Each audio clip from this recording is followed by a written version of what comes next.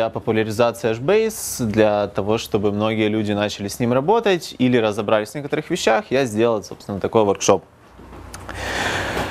А, о чем мы будем говорить сегодня?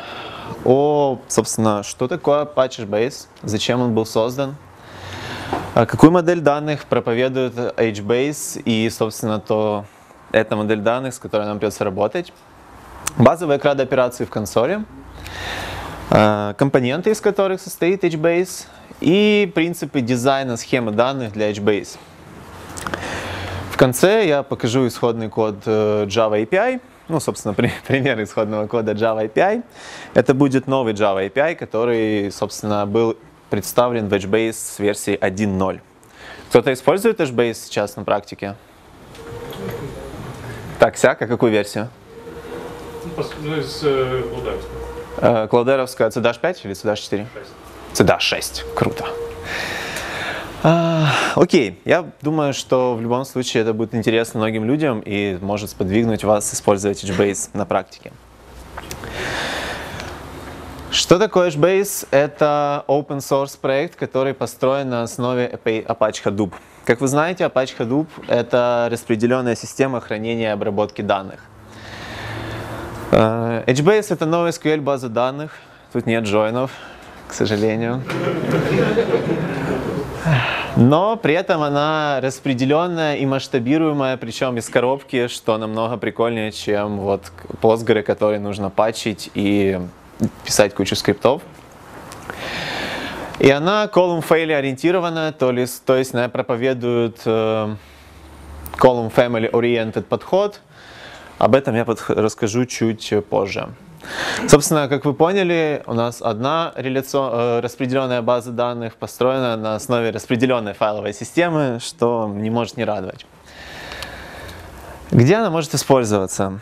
Э, я выделил три кейса, где она может использоваться. Первый — это time series data, так называемая, то есть данные, которые поступают со временем на постой.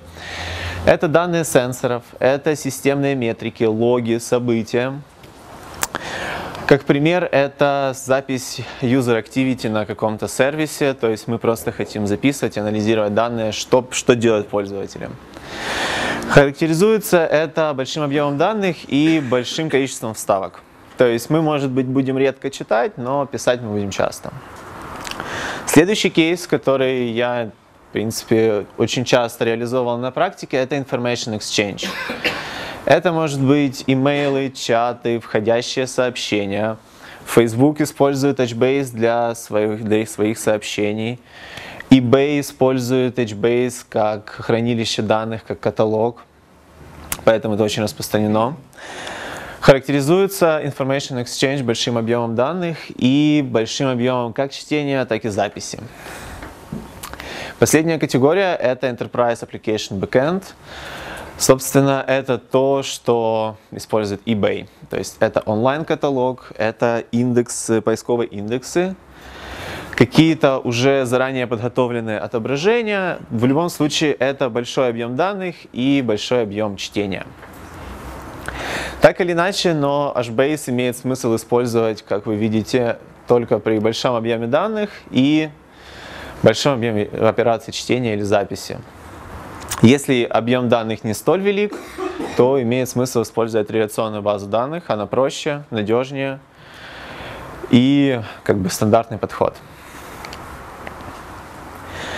Предлагаю начать с Data Model HBase.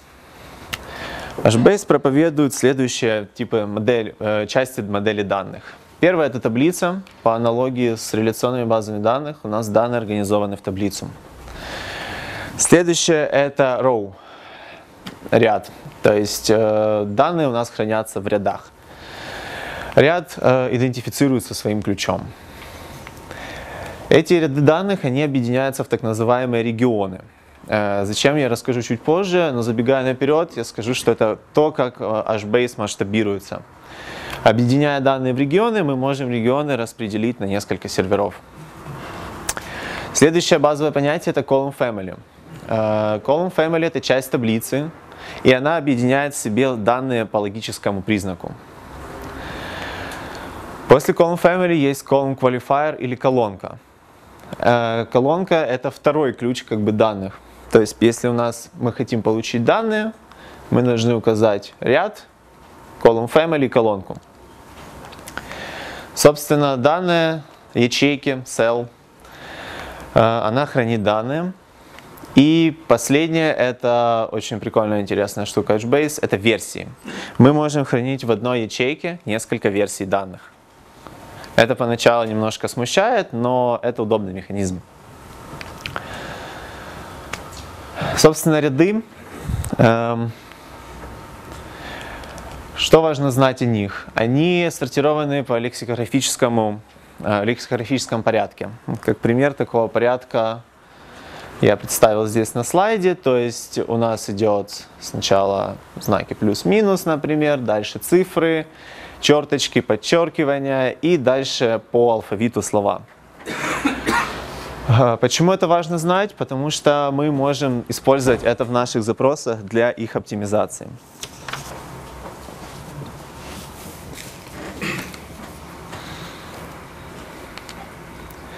Регионы. Как я говорил, ряд, э, ряды данных можно объединить в регионы для того, чтобы их потом масштабировать и распределять на сервера отдельные. Как объединяются данные в регионы? Собственно, по порядку. Uh, учитывая, что есть они данные упорядочены по строкам, мы можем э, выделить некоторый объем строк как один регион, следующий после него объем строк как второй регион, и последний, третий объем строк, например, как третий регион. Дальше эти регионы могут быть как на одном сервере, так и на нескольких. Um, column family. Базовое понятие, uh, как я уже говорил, HBase, uh, она объединяет в себе колонки по логическому признаку.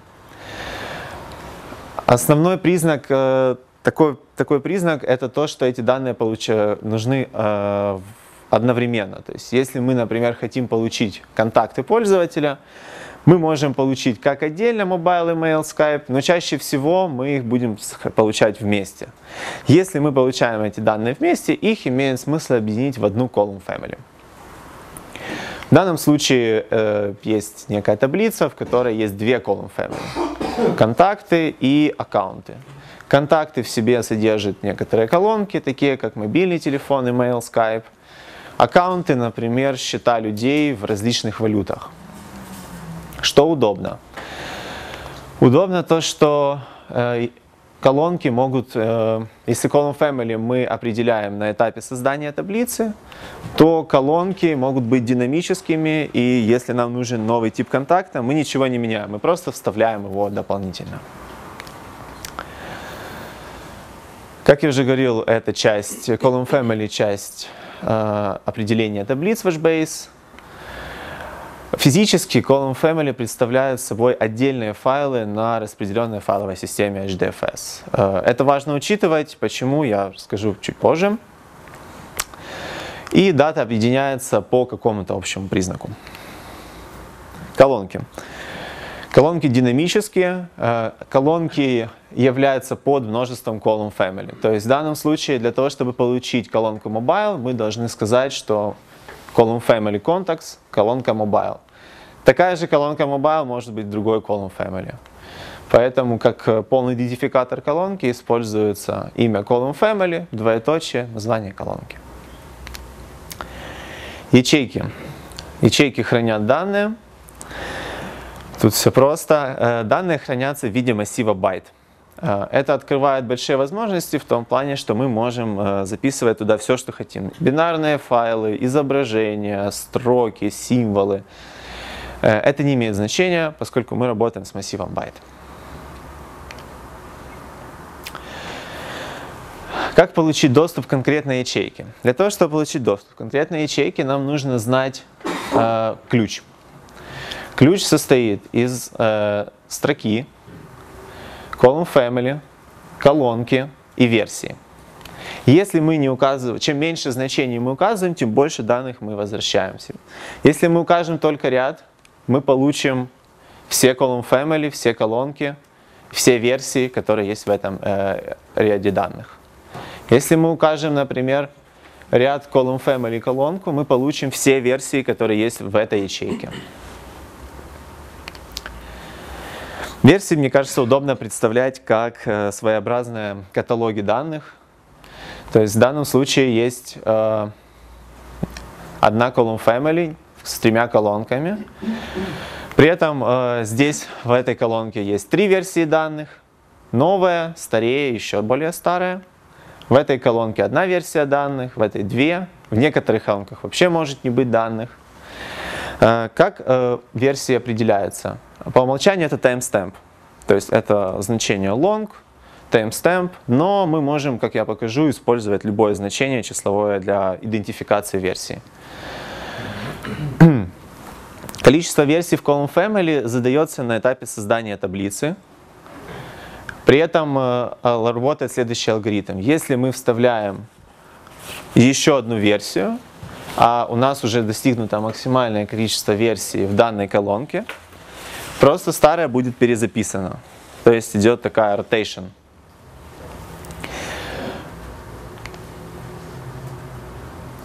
Собственно, с моделью данных это все.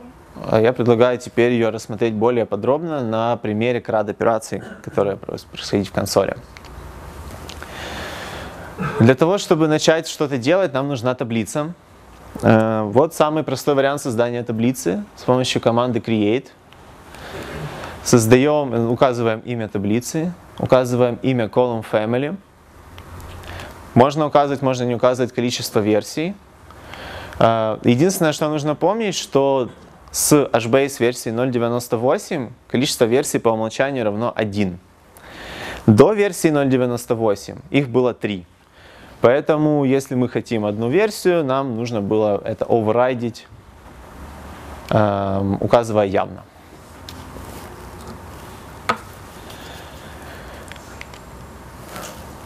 Я буду попутно демонстрировать в консоли. А, до 1024 версий, насколько я помню, есть ограничения. Но а, чем больше версий мы используем, тем а, у нас больше проседает performance. Соответственно, уже на сотнях версий колонки performance будет никудышнее, и редко кто использует больше 10 версий. Я на этом остановлюсь отдельно в процессе доклада, но performance чтения. В основном страдает performance чтения. Мы в консоли. Создаем таблицу.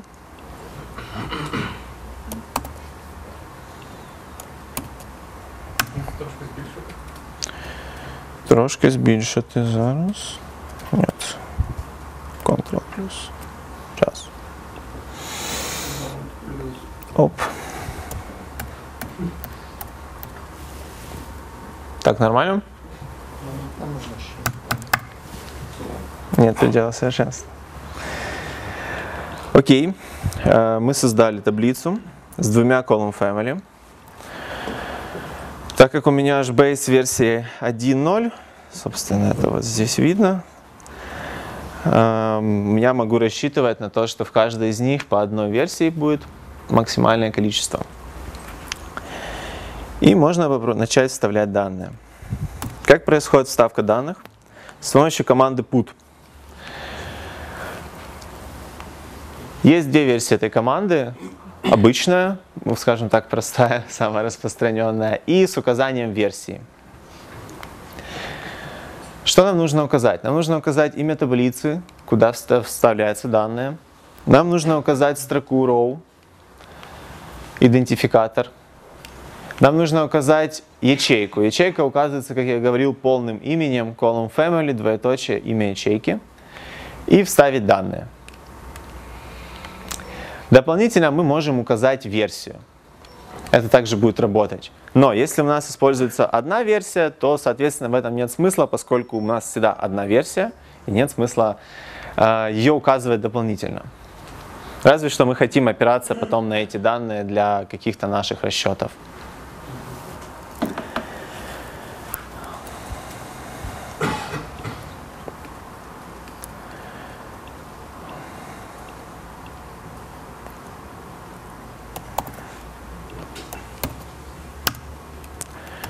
Я вставлю еще несколько строк.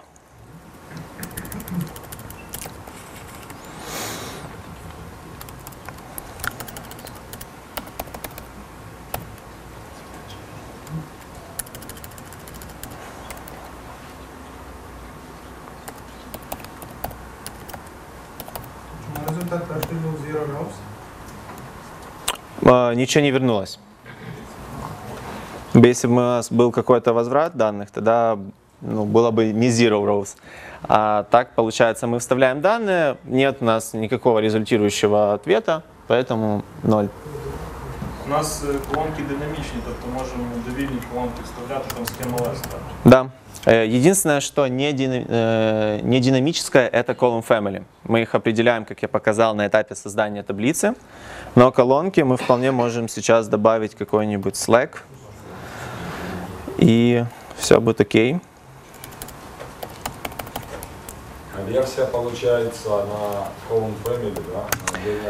Колонну. Э, да, версия задается в рамках column family. У нас может быть одна column family с версией, максимальным количеством версий 1, другая с версией 3. То есть ну, в одной мы будем хранить только одну версию ячейки с данных, в другой column family мы можем хранить три версии.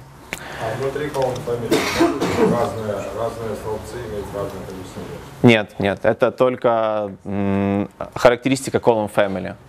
Вообще, э, как я покажу в процессе, все основные характеристики, они на column family вешаются. Даже не на таблицу, а на column family. Column family удобно рассматривать как такие отдельные подтаблицы в нашей общей таблице данных. Окей, я вставил несколько данных.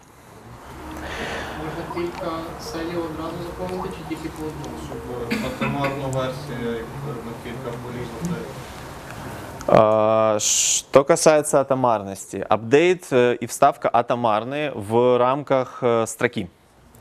А, То есть, если я, например, буду вставлять с ключом А несколько строк, каждый апдейт будет атомарный. А, Что касается нескольких колонок, э, в консоли нет. По крайней мере, я этого никогда не делал и не видел, чтобы так можно было сделать. Через Java API, да. Через Java API я покажу, как это делать. А, такой вопрос. Скажите, пожалуйста, а есть какая-то батч вариатор, допустим, батч апдейт, батч инсайт, Э, Java API есть. а в консоли? В консоли нет, к сожалению, я не видел, ну, не, знаю такой, если честно. То есть, получается, API это как э, просто обвертка, обвертка какого-то фора с, с каждой квырей, то есть так получается? Нет, э, сам э, API джавовский, он э, не является оберткой над query. Он работает через RPC, э, Remote Procedure Call. Он э, пакует эти данные в батч, отправляет их на регион сервер, и там это все обрабатывается. Консоль в данном случае это просто поиграться, чтобы... Ну, она не является основным инструментом, скажем так, работы с HBase. Мы не можем через консоль вставить, ну можем, но нам надо скрипт написать просто. Если мы напишем скрипт, мы можем вставить там тысячу данных, тысячу строк. Но в целом она служит для такой, как бы, создать, посмотреть, попробовать. И в целом вся работа идет через API. Мова скрипта співпадає з мовою консолі, чи в скрипті інша мова, а тут в консолі просто команди дивишся. Е, Скрипт може бути написаний на чому завгодно, Python, е, Bash, все що завгодно. Але ця консоль вона написана, наскільки я пам'ятаю, на Python, а там з- в- як бекенд крутиться Java. Тобто Python це тільки, я не знаю, ввод команди та її інтерпретація. Я мав на увазі не таку стандартну скрипту. Наприклад, для нього ми пишемо е, SQL скрипти з розширенням SQL, там використовуємо мову SQL. Для нього є Ага. такий стандартний синтаксис. Ні, на жаль, цього немає. Є лише отака консоль, і ми можемо створювати свої якісь е, кастомні скрипти, які б нам, я не знаю, що можна, вони можуть робити. Наприклад, перевіряти якусь таблицю. Е, Але це буде запит в баш скрипті, який буде просто надсилатися до консолі, забиратися відповідь і все. Е, Якоїсь такої спеціальної мови тут, на жаль, немає. Ну, є Java. Как? Hive. Э, Можно повесить сверх HBase Hive. Э, Можно писать SQL, более того, можно повесить и Impala, э, чтобы писать SQL еще круче. Я могу об этом рассказать в конце, если вам интересно, потому что я делал такие эксперименты, я очень хотел иметь SQL в один момент над HBase. Я могу рассказать, чем это закончилось. Что хорошо или плохо, но апдейта нет, но мы просто переписываем с тем же ключом строку и таким образом можем апдейтить данные. Или, или колонку. В любом случае, если мы э, делаем вставку с тем же, с тем же ключом строки, э, с, тем, с той же колонкой и той же версией, мы апдейтим уже э, конкретное значение. Если мы меняем версию или что-то меняем название колонки, мы как бы добавляем еще одни данные. Чтение. Э, С чтением на самом деле все просто. Есть всего два варианта, как вычитать данные. Get и scan. Э, В чем их принципиальное отличие? Get мы читаем всегда по ключу строки. То есть мы говорим, что мы хотим конкретно из таблицы user accounts выбрать юзера 3455. Мы можем сказать, что мы хотим из таблицы user account выбрать юзера 3455 и конкретно его мобильный телефон. Мы также можем указать версию. Если у нас больше, чем одна версия, мы можем сказать, что мы хотим, например, версию именно вот с таким значением. Scan. Э, Если get мы работаем четко по ключу, по сути, как в хэшмапе, то scan мы идем по всему пространству данных и пытаемся выбрать по какому-то признаку нас интересующее. А, Есть э, как бы команда scan, она более сложная, чем get, э, на нее есть очень много наворотов, но их удобно смотреть с точки зрения API, а не через консоль, потому что через консоль они выглядят ужасно. Э, Самое распространенное, что используется в консоли, это указание start row и stop row. То есть э, мы можем указать, что мы хотим начать скан с какой-то определенной строки и закончить на другой определенной строке. Э, Что нам позволяет это сделать? Э, Мы знаем, что у нас есть лексикографический порядок данных, в котором со- отсортированы наши строки. Соответственно, мы знаем, что строка А всегда выше, чем строка У. А если она выше, и мы хотим выбрать только пользователей, у которых имя начинается на А, Б и С, то нам имеет смысл ограничить этот э, объем данных. Таким образом, мы можем сократить время скана. Можна робити скан по column family? Е, ні, можна сказати скану, що ми хочемо робити його, е, що ми хочемо отримати результати скана е, не всі, а тільки якісь колонки. Тобто ми можемо вказати додатково колонки. А порядок сортування якось можна вказувати? Е, Тільки лексикографічний. ну, а типу від е, по спаданню, по зростанню? Е, ні, на жаль, ні. Тобто треба враховувати, що в нас дані будуть завжди в лексикографічному порядку. І якщо ми дуже часто хочемо мати дані якось по-іншому відсортовані, то треба так формувати оцей ключ, ключ рядка, щоб е, він е, відтворював е, наш порядок сортування, але лексикографічно.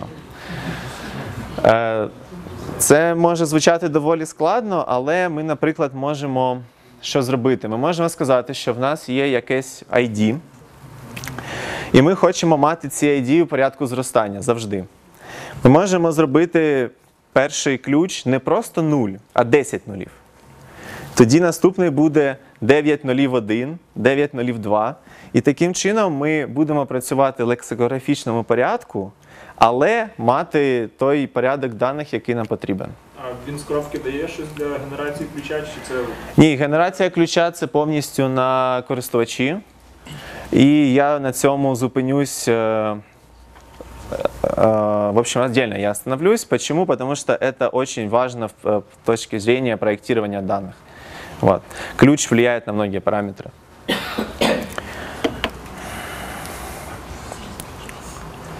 А ще по, по операції апдейта є якесь щось таке, типу conditional update? Э, Есть, э, с точки зрения API, есть операция check and put, куда передается... Нормально, типу, так? Она атомарная, и это очень удобная операция. Мы можем атомарно проверить, есть данные, нет данных, если нет, то вставь. И еще с точки зрения API есть очень удобная операция атомарного инкремента. Она реально крутая в том плане, что у нас есть счетчики, мы можем их накручивать, не заморачиваясь по поводу атомарности. Это все разруливается HBase.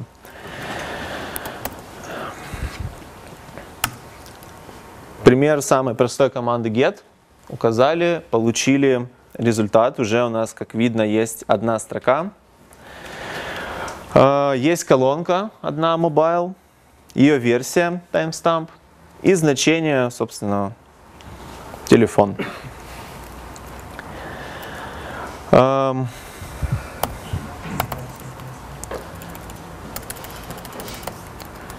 Поменяем ключ, укажем колонку.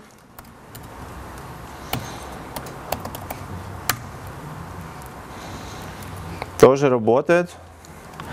И попробуем скан.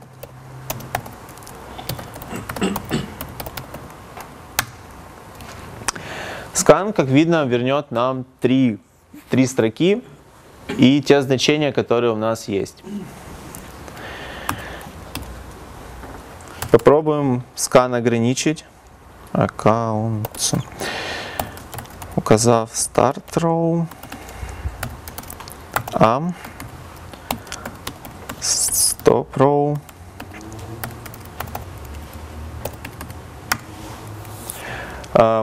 Как, наверное, в основном это распространено, то же самое в SQL. Первый включаем, э, последний exclude не включается в э, выборку.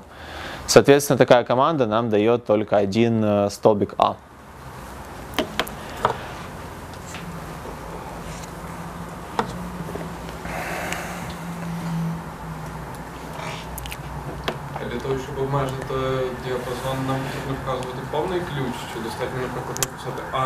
Він як префікс працює. Тобто це є префіксом, і ми можемо вказати його як початок тільки.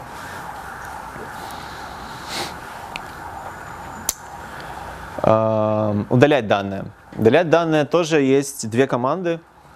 Обычная delete, когда мы хотим удалить именно какое-то значение. Не всю строку, а только значение. Причем, если мы можем указать э, версию и не указывать версию.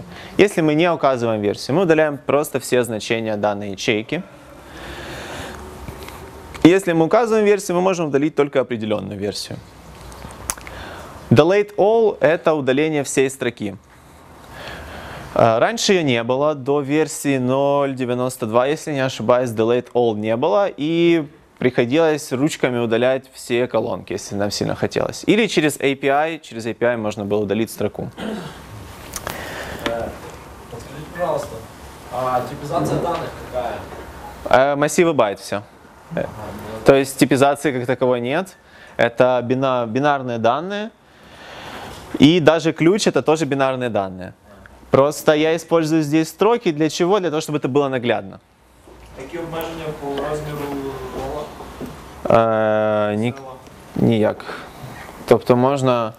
а- Аби вистачало місця е, на диску для його зберігання. Єдине, що можу сказати, якщо у нас великий, великий об'єм даних, е, зараз, хвилинку, якщо у нас великий об'єм даних, е, то нам треба трошки підтюнити деякі параметри, я буду про них казати згодом. Тому що якщо ми будемо вставляти 1 гігабайт е, в один сел, то це буде провокувати, кожна така вста- вставка буде провокувати спліт регіонів. Я про це згодом розкажу. Тому нам треба трошки тюнити. Так? На типів даних, все-таки деякі речі ви в лапках, а деякі без лапок. Наприклад, тимстап у нас виводиться числом, юзернейм виводиться юзернеймом, тому все-таки, напевно, Е, чому число? Тому що це версія. А версія, як я казав, це лонг завжди. Тому якщо це long, то я його вказую без лапок як long. Тут я вказую в лапках, тому що це строка. Ось. Э, я, ну, честно говоря, через консоль я просто никогда не вставлял э, не строки, то есть э, я вставлял их через API, например, int ы, но если вставить просто int через э, API, он будет выводиться как 16-ричное значение, как hex. Вот. Поэтому, собственно, здесь я оперирую строками и вставляю их в кавычках. Если я не ошибаюсь, чтобы вставить int hex, можно его указать здесь вот как тоже в кавычках. Но если я здесь не поставлю кавычки, то у меня просто не выполнится команда. Вот. Но главное то, что версии указываются как long, это всегда число. Вот. Це вже говорилось раніше, що можна е, дати таку команду, інкрементнути певне значення, то воно, напевно, не там має бути, бо ми зробимо таку команду інкрементнути строку і Е, так, але я не знаю аналога в консолі для такого інкремента. Але якщо казати про Java API, там параметр long, і ми туди нічого іншого, ніж long, просто не зможемо засунути, бо воно не скомпілюється. Отак. Тобто, е, як я вже казав, консоль це така річ, де можна створити таблицю, менеджити таблиці, можливо, трошки виповнити якісь команди, але це не основний інструмент роботи з HBase. Е, Чому я вважаю за потрібне показати цю консоль? Тому що е, я вважаю, що вона добре е, демонструє початкові команди HBase, і вона добре дозволяє якось зрозуміти, як зберігаються дані. Ось. Видаляємо. Щоб впевнитись, ми можемо зробити знову скан. У нас же тільки два рядки. Чому? Тому що там була єдина колонка. Якщо колонки немає, то е, рядка як такого теж немає. А, Можно вопрос по Column Family?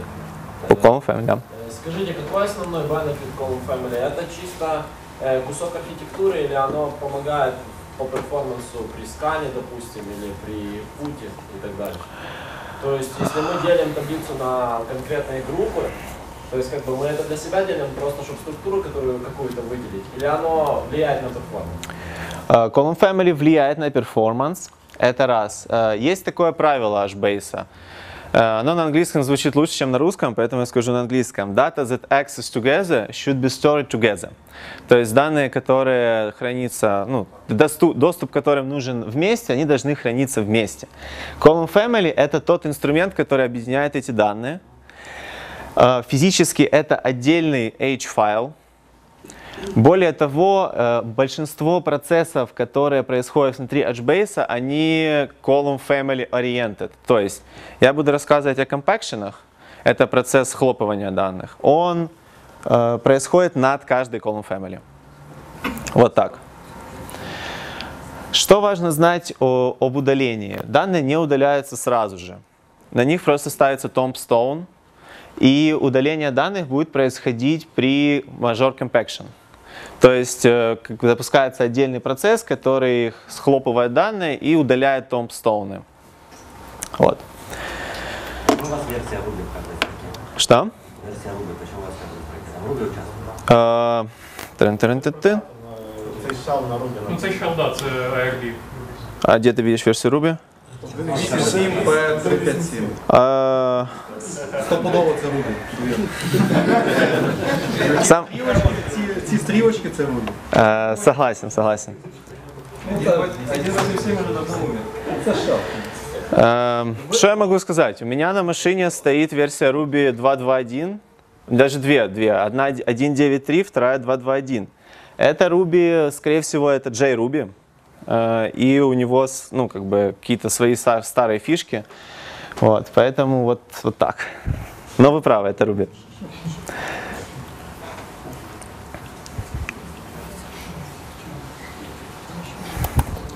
Я, да. Можна? Да-да. Ви сказали, що дані видаляються не зразу. А може бути так, що ми виконали команду delete, після того виконали select, ці дані з delete можуть попасти в наступний select? А, Ні, не можуть, тому що на них одразу ставиться tombstone.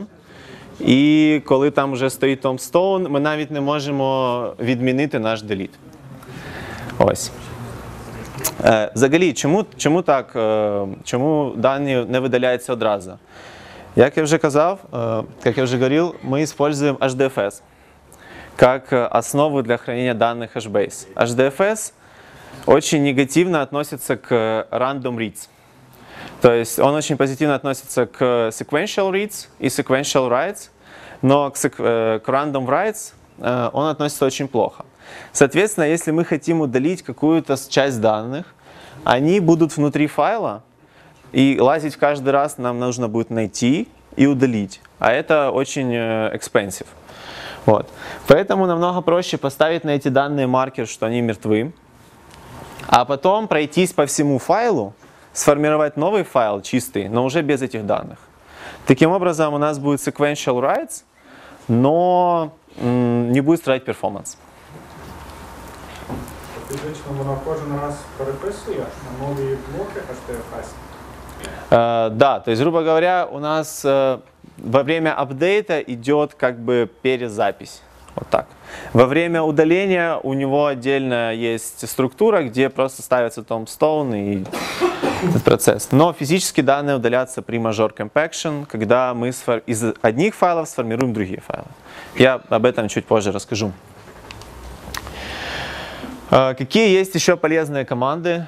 Э, Первое это лист, Э, просто список таблиц показать.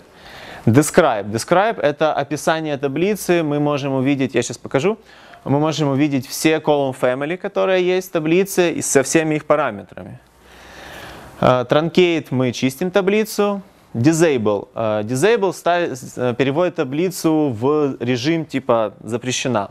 Для чего это нужно? Когда мы делаем альтер таблицы, меняем э, параметры column family или добавляем новые column family, таблица должна быть в состоянии disable. Когда таблица disable, в нее нельзя писать, с нее нельзя читать. Соответственно, если это происходит на продакшене, то это беда. А, Вот. Ну, на продакшене что будет происходить? Мы пишем скрипт, который выполняет команды disable, alter, enable. После этого э, запускаем скрипт. Все наши запросы, которые идут к этой таблице, в момент выполнения альтера э, вываливает exception, э, table in disable, exception. Но потом мы enablim и все как бы хорошо.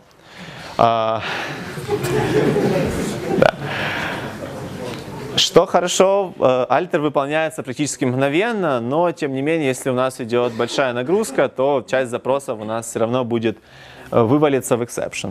Буде, якщо не зробити disable enable. Альтер не выполнится. Наш його тоді робити. Ну, не, не експліситі це не робити. Внутрішньо дисейбл. Е, Що ти мо- Ну, тобто, е, если мы начнем выполнять альтер на таблице, которая не в состоянии disable, то альтер просто даст ошибку. Мы не изменим нашу таблицу. Вот. Из-за этого нам нужно задизейблить таблицу, заальтерить ее и enableить снова. А, Ну, я могу сказать так, что в реляционных базах данных альтер таблицы, особенно если она очень большая, это ну, как бы большая боль. Я думаю, кто сталкивался, нужно копировать данные в другую таблицу, менять, потом возвращать обратно. А, В HBase можно просто написать код, который в случае эксепшена начнет переспрашивать, А, то есть ну, повторять запрос. И таким образом обезопаситься от э, disable таблиц. То есть у нас, когда будет, например, disable таблиц, если у нас код написан грамотно, мы просто повторяем запрос до тех пор, пока таблица не станет доступна. Да, да. А, ну, я посмотрел, у вас там enable, disable по, по одному тому же самому имени, как бы. То есть, а, Это имя таблицы. им- а имя может в процессе альтер, ну, альтер поменяться, да? А, нет, нет, имя в альтере нельзя изменить. Альтер работает только над column family в основном. А, Что? Питання? Да, да. Чи фізично змінюються дані, чи просто апдейтиться схема, дані лишаються? Ну, тобто, так само, чи Тут тільки схема. Це е, чисто опис column family, як вони себе ведуть. Якщо ми, наприклад, кажемо, що в нас було три версії в одній column family, а тут бах, ми пишемо одна версія, е, дані не будуть стерті от, одразу. Наступний major compaction прийде до цієї column family, побачить, що треба одну версію мати, перепише все в інший файл з однією версією і все. За що цього досягається дуже шви- швидкий альтер, тому що ми тільки опис е, змінюємо, ми не змінюємо самі дані. Наверное, в отличие от реляционных баз данных, где мы меняем сами данные. Можу ще питання, тобто колон Family можна тільки додати або поміняти якісь особливості, чи можна теж видалити з таблички? Можна видалити, це не проблема. Ми просто е- робимо de- delete column family і все. Column family может пересекаться? Одна с другой. Это как? Ну, например, э, а, если column fam- family подразумевает одно место хранения данных, да, как вы говорили, Угу. вот, то а, одна и та же колонка А, не, не. Мы можем э, искусственно повторить значение, то есть мы, когда путим данные, можем путить в обе. Но я, честно говоря, не сталкивался с тем, чтобы так, ну, как бы, это имеет какой-то смысл. Может быть, не имеет смысла, потому что нет джойнов каких-то. Если были бы джойны, можно было бы это все обернуть, да. А, Скажите, а есть возможность создания какой-то дополнительной логики на самой БД, типа storage процедуры и так далее? Э, Копроцессоры есть. С HBase 0.98, если я не ошибаюсь, ввели механизм копроцессоров. Они подобны триггерам в реляционной базе данных. Можно описать, что если мы путим, то потом выполнить команду такую-то. Вот так. Да. Будет автоматная операция? Э, Копроцессора? Э, Она будет э, атомарно выполняться, поскольку пут атомарный. Но получается, что мы таким образом слегка задерживаем наши путы, потому что пока не выполнится копроцессор, то ничего не получится. Вот.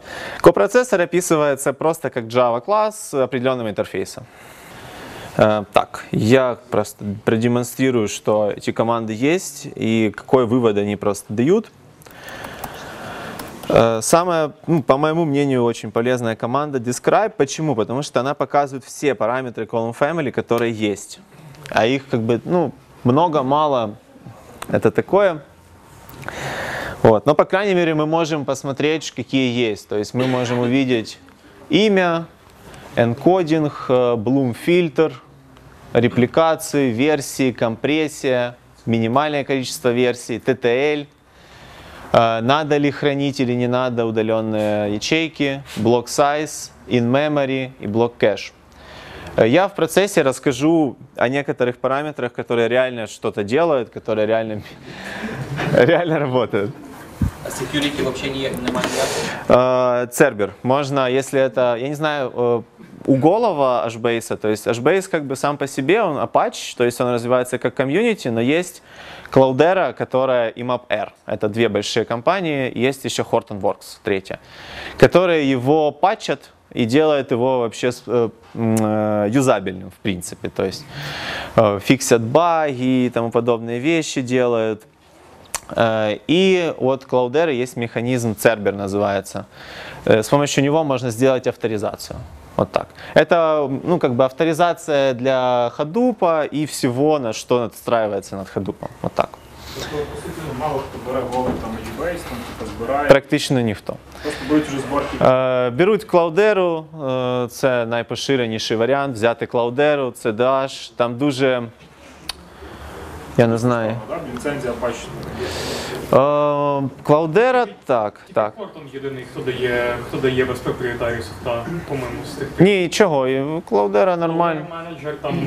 Менеджер так, але, э, грубо говоря, если мы ставим все руками, берем, просто скачиваем э, из сайта Cloudera их сборки и ставим руками, это норм. Это, ну, лицензия позволяет его использовать, как мы хотим. Но э, что продает Cloudera? Cloudera продает такой красивый менеджер, где мы нажали на кнопочку, у нас все так типа красиво поменялось. Вот. Но если мы все менеджим руками, то без, без проблем. Просто что Cloudera дает менее багованные версии, уже как бы адекватные для использования. Эм, собственно, альтер таблицы покажу. Э, О, ну, я могу об этом сейчас рассказать, могу чуть позже. Э, Bloom фильтр. э, Это, как бы так сказать, покращення.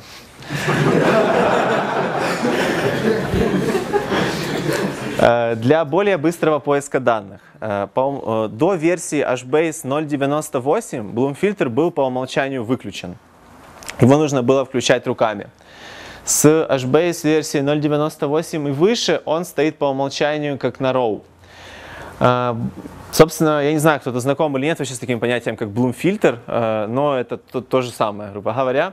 Мы храним табличку, э, в которой есть указание, что там, например, данные, такие-то данные находятся в таком-то файле. И Bloom отвечает на вопрос, а нет ли, э- э, если, не, не есть ли эти данные в файле, а отсутствуют ли эти данные в этом файле. Вот, то есть наоборот. Таким образом, когда мы выбираем данные и у нас включен Bloom мы э, можем не лезть в файл. Нам не- нет нужды лезть в тот файл, где этих данных нет. Мы проверяем только те файлы, на которые Bloom фильтр нам отвечает. Ну, может быть, они там есть. Ну, тобто Bloom Filter дає точну відповідь, якщо нема, і Да. ймовірність ми- І ймовірно, якщо є, що, що може бути. А, почему о, он не был включен сразу? Потому что Bloom фильтр хранит дополнительный объем данных, вот эти вот самые, э, ф- ну, как бы, вспомогательную структуру, которая указывает, есть или нет эти данные в файле. Вот. Но так как Hbase, он для больших объемов данных, то есть это терабайты, петабайты данных в зависимости от кластеров, то несчастные там несколько сотен мегабайт Bloom-фильтра уже ни- никого особо не волновали. И его просто включили по умолчанию, как на RAW. Его можно поставить э, RAW cell. Тогда он будет, э, э, точнее не RAW cell, а RAW column. Тогда э, он будет э, занимать еще больше места, но начнет типа индексировать колонки, как бы. То есть мы, если мы выбираем часто именно по колонкам, не только целую строку, то можно его так поставить. Э, Собственно, альтер.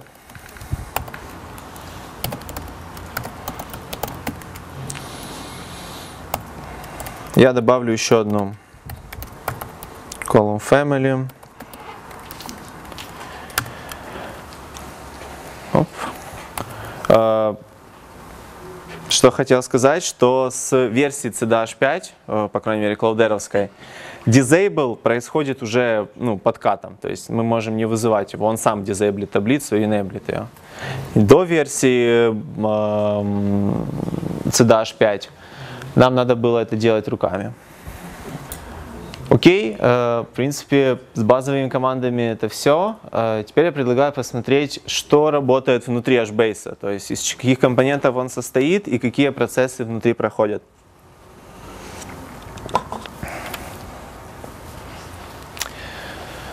Эм, Очень удобно разделить компоненты на, так сказать, мастер и slave компоненты, да, как в большинстве распределенных систем, э, здесь также это работает. HDFS. HDFS имеет в себе мастер-компонент, который называется nameNode, э, и slave-компонент, который называется dataNode. Эм, Собственно, дата-ноды хранят данные, а name-ноды мониторят дата-ноды и хранят метаданные, так называемые.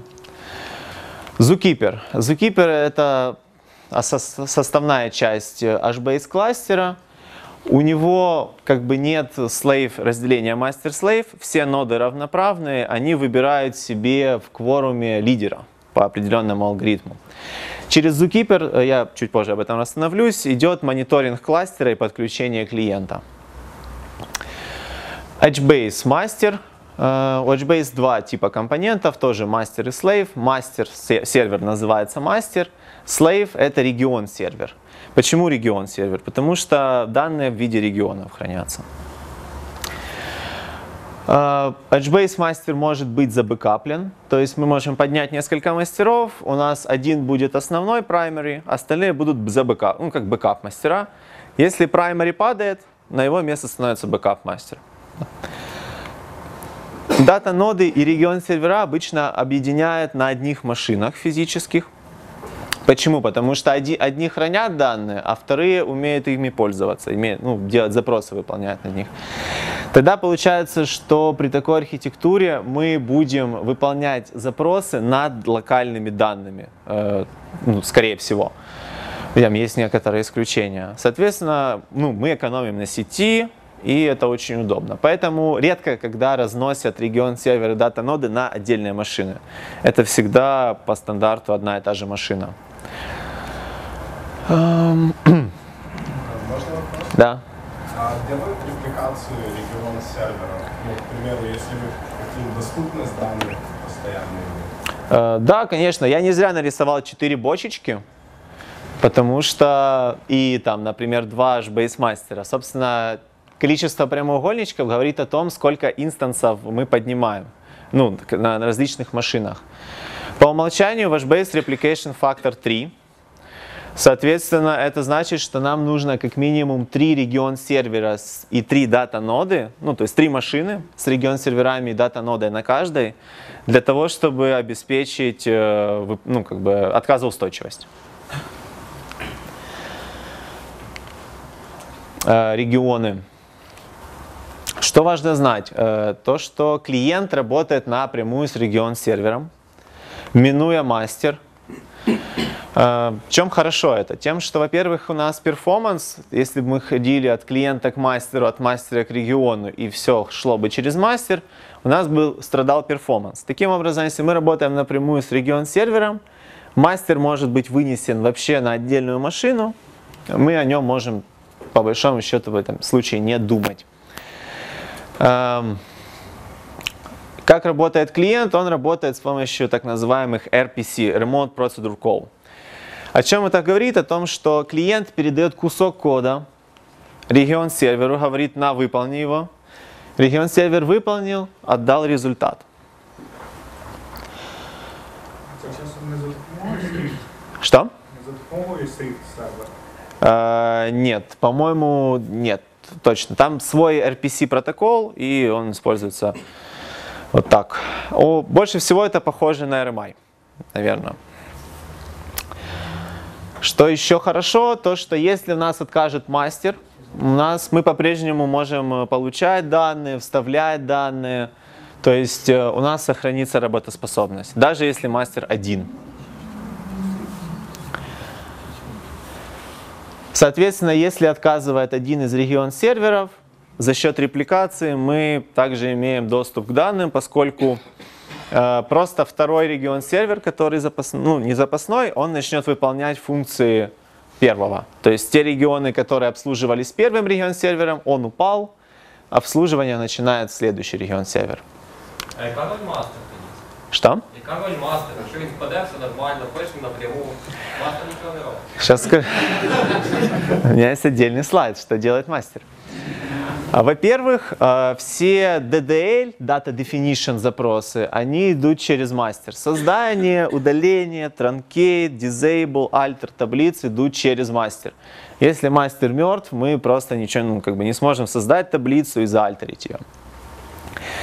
Что еще хорошего делает мастер? Он э, мониторит регион сервера, он запускает процесс recovery в случае, если у нас один из регион сервера выпал. То есть, грубо говоря, если мы потеряли мастер и потеряли один регион сервер, то это уже беда, потому что recovery не будет запущен и, ну, как бы это проблема. Поэтому э, мастера, они тоже реплицируются, бэкаплятся, и у них свой алгоритм восстановления есть. А як робиться раутаутинг? Звідки клієнт знає, на який У меня есть отдельный слайд для этого. Эм, я, я расскажу об этом, когда мы дойдем до Java API, поэтому, ну, там, там просто это будет, мне кажется, более к месту, чтобы не забегать вперед. Что еще хорошего делает мастер? Он э, ассайнит регионы. То есть он говорит, что регион сервер 1 обслуживает такое-то количество регионов такими-то данными, а регион сервер 2 обслуживает следующее там, количество данных. Как он это делает, я сейчас чуть позже расскажу. Zookeeper. Э, Zookeeper выполняет, э, собственно, это его прямое назначение, он изначально для этого разрабатывался, как э, сервер-координатор. Он хранит в себе состояние, он имеет двунаправленную связь с мастером и с клиентом.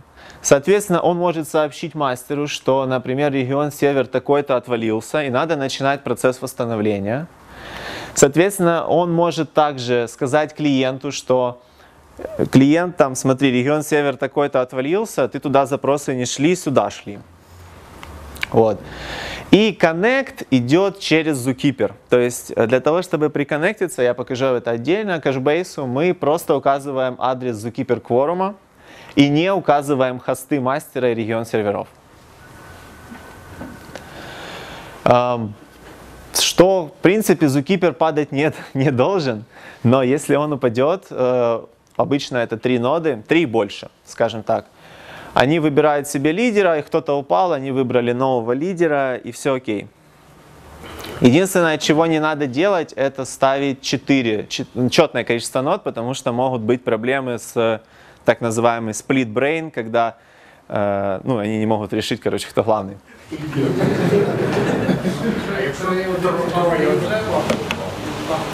Вот как-то парадоксально, но когда два они решают, а когда их остается три.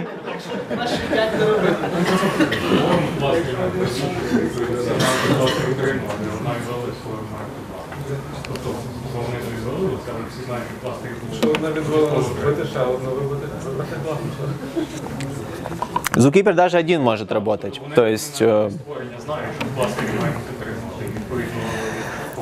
да, там, там на самом деле очень такой сложный алгоритм выбора лидера. Их несколько версий есть. По-моему, они там как-то раз, два, три называются эти версии. И в зависимости от версии, они, ну, как бы, одни проблемы уходят, а другие появляются. Вот. А, Так как мы, по сути, осмотрели основные компоненты кластера, имеет смысл посмотреть чуть-чуть вглубь э, HBase самого по себе и рассмотреть вопросы, как данные записываются, какие процессы происходят внутри и эти, как эти процессы могут влиять на перформанс. Я думаю, что э, я закончу с этим делом, и мы пойдем на перерыв. Data write. Эм, Прежде всего, когда идет запись данных, данные записываются в WAL, в write ahead log, как это в Postgre было, здесь практически то же самое. Э, Да, этот write ahead log, он находится на HDFS, и он реплицирует данные на остальные дата-ноды для, для чего? Для того, чтобы если этот регион сервер упадет, мы могли их восстановить. То есть при восстановлении, э, в случае падения регион сервера, write ahead log заново считывается и накатывается, так сказать. Вторым делом данные попадают в так называемый mem-store. Для чего нужен mem-store? Мы храним данные в отсортированном виде, в лексикографическом порядке.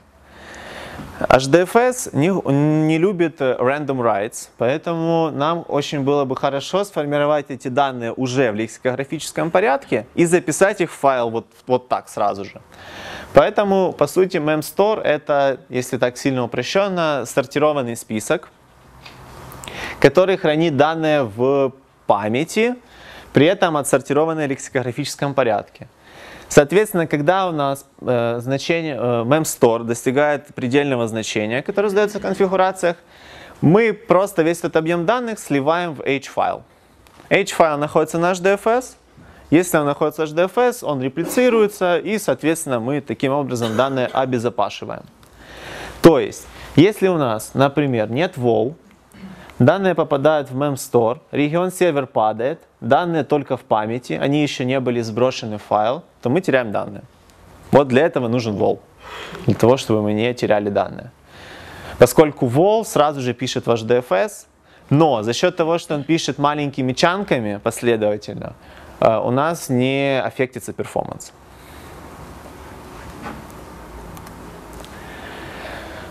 Э, Собственно, то же самое, что я рассказал в виде отдельных пунктов.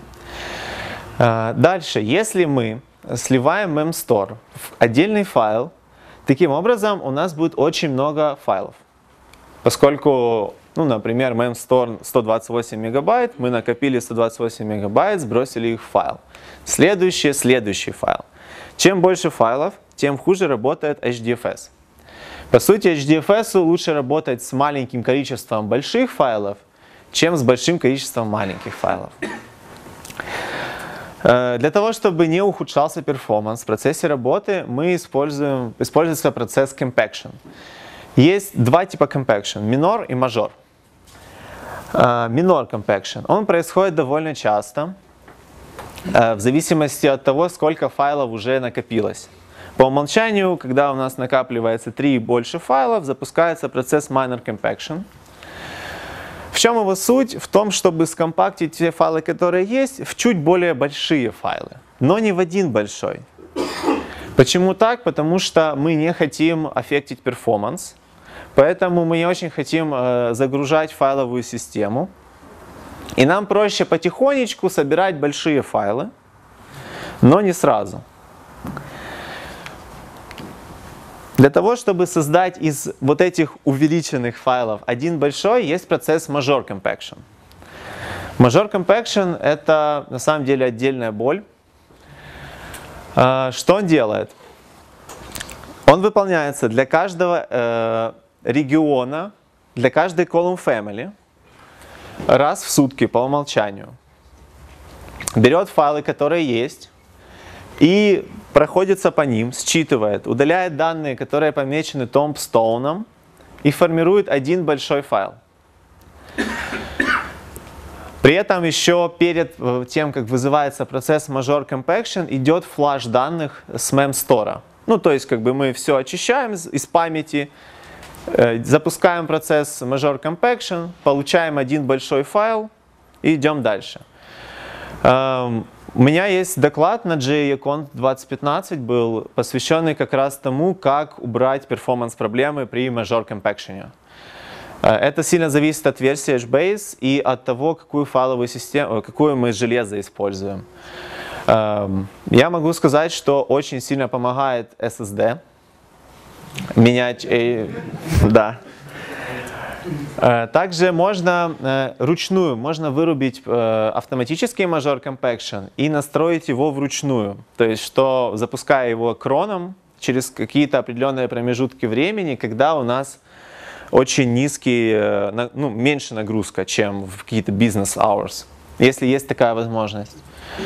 Э, Можно также управлять э, рандомом Major Compaction. То есть, если у нас много column family, много регионов, есть вероятность, что одновременно запустится два Major Compaction э, на двух серверах, и это будет аффектить перформанс еще больше.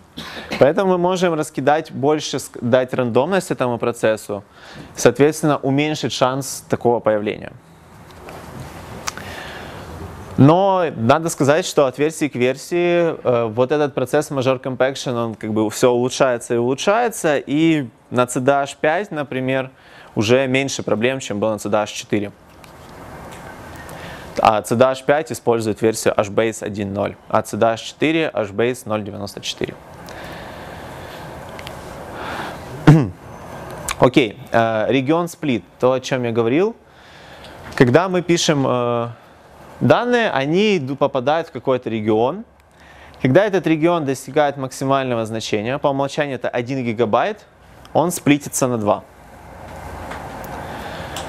А, Я расскажу, ну, забегая чуть-чуть наперед, скажу, что если мы пишем какое-то данные с ключами, которые идут sequential, последовательно, например, это timestamp, они будут идти все время в один и тот же регион сервер, в один и тот же регион и дописываться вот сюда.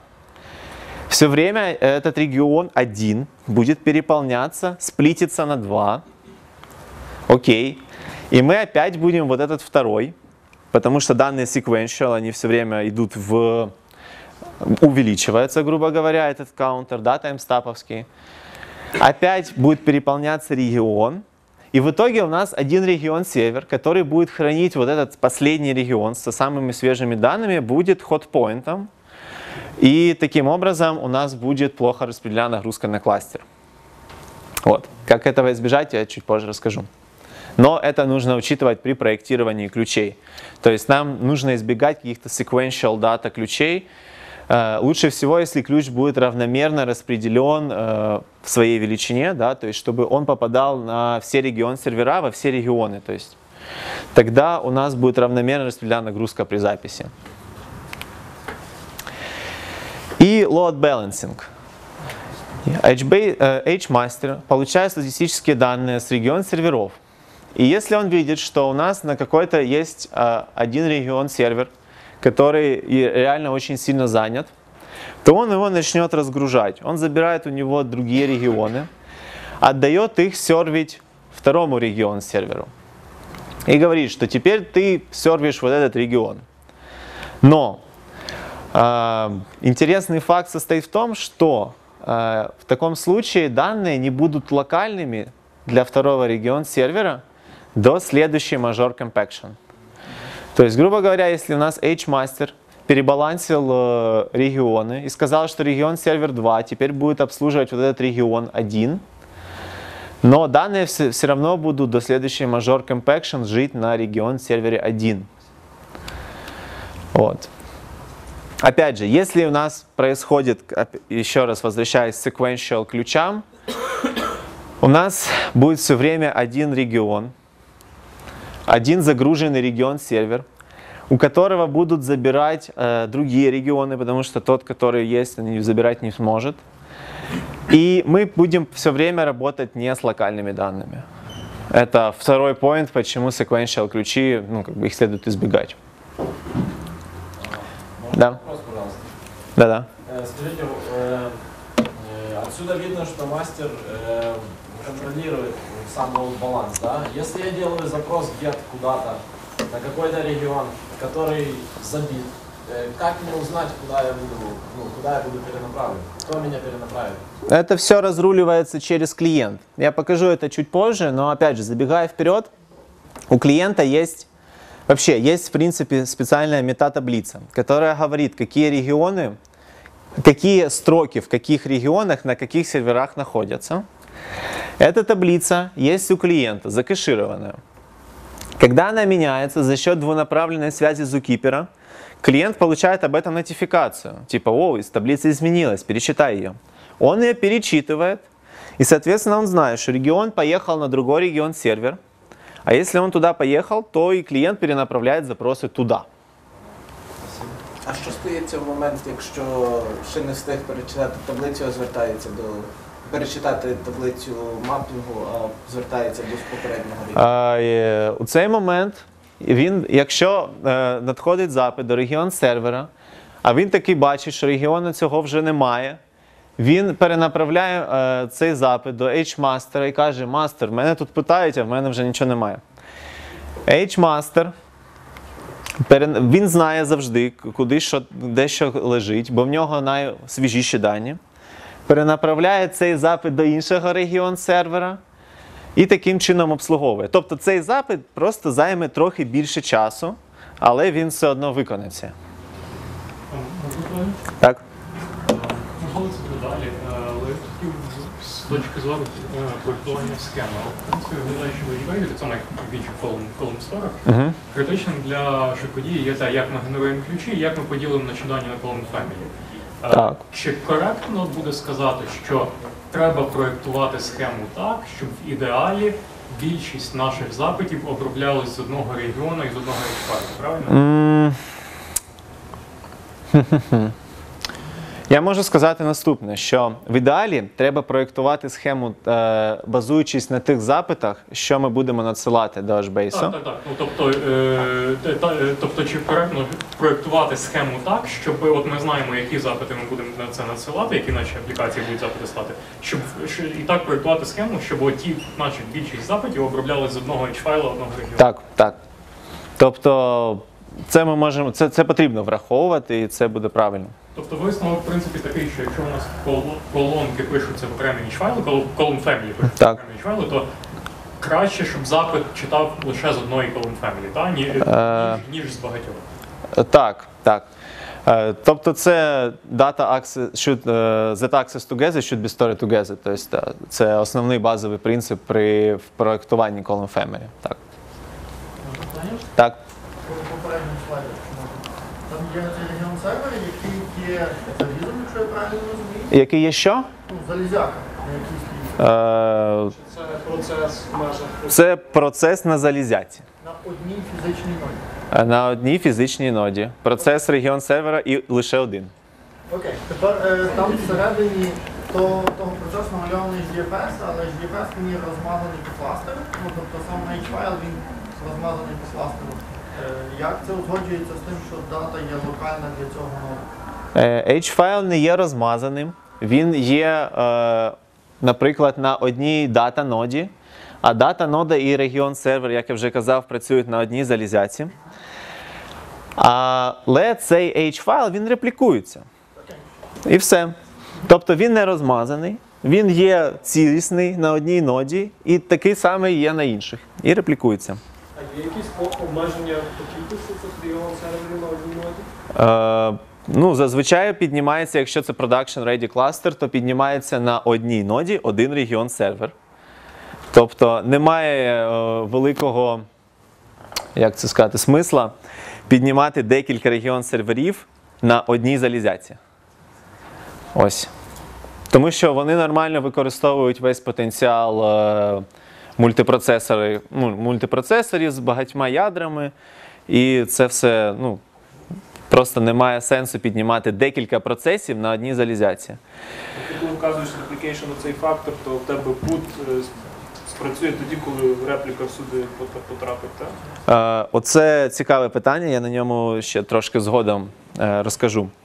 Пут в мене, якщо забігати наперед, то пут у меня сработает, когда write ahead log мне ответит, что он э, записался и реплицировался. Вот тогда меня отпустит.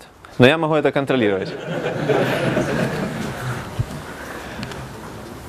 Э, Вот уже, в принципе, последний слайд и по архитектуре.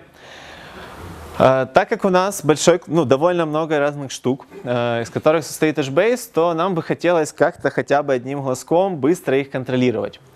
Для этого есть консоль. Консоль есть как у HDFS, так и у HBase. Э, Я остановлюсь подробнее на консоли HBase. Она по умолчанию находится на мастер-хосте, порт 60010. Что она показывает? Она показывает состояние регион серверов, мертвые, живые, количество э, запросов в секунду каждому регион-серверу, какие таблицы и какой размер регионов у нас есть, ну, то есть текущее состояние. Мы можем посмотреть текущие compaction, мажор compaction, которые идут. То есть мы можем, в принципе, чем это удобно?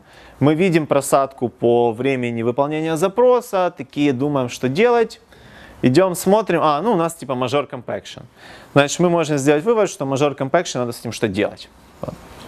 Поэтому это удобно.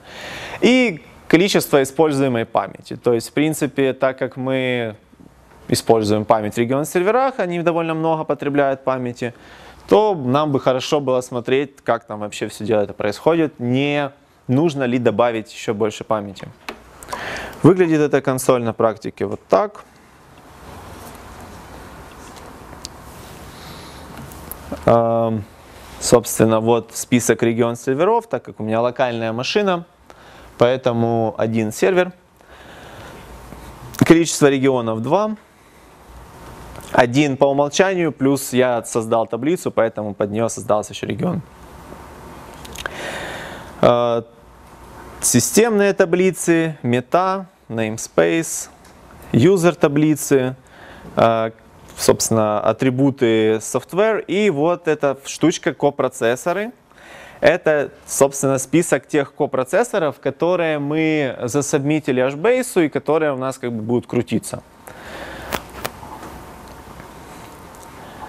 У HDFS это тоже есть такая консоль, порт по умолчанию 50070, там плохо видно, вот так лучше. В принципе, суть у нее та же самая. Мы можем посмотреть количество нод, live nodes 1, количество мертвых нод, используемое место. Ну, лично я на практике очень часто использую эти две консоли для первичного какого-то мониторинга и траблшутинга. Я предлагаю сделать паузу, э, минут, наверное, 5-10, и посмотреть, как проектировать схемы под HBase.